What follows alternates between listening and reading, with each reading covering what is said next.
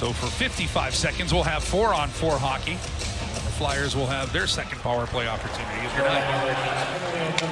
The draw comes out of the Kane zone. Rasmus Ristolainen lineup. Drifts back. The penalty is announced. The Canes fans not too pleased. Opportunity still is a now another penalty is coming up. And this one is going to go against Vincent Trocheck, and he is clearly not happy with this call. I tell you, and looking down at Rod Brind'Amour, 16, Carol. Rod is immediately looking at the monitor. Now he's going to get an extra two. Let's watch it. Totally avoids the skate. Chris Rooney, a veteran official, cannot make that call. You cannot make a hope call that's going to lead to a four on three and a significant five on three. And then he tacks on the extra two. Rooney, who had a couple questionable calls in Tampa.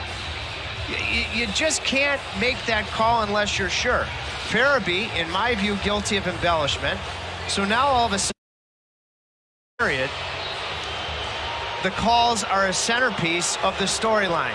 You, you just can't you can't make the call unless you're sure. It's very clear we have the benefit of a replay that Trocheck was not guilty of a trip.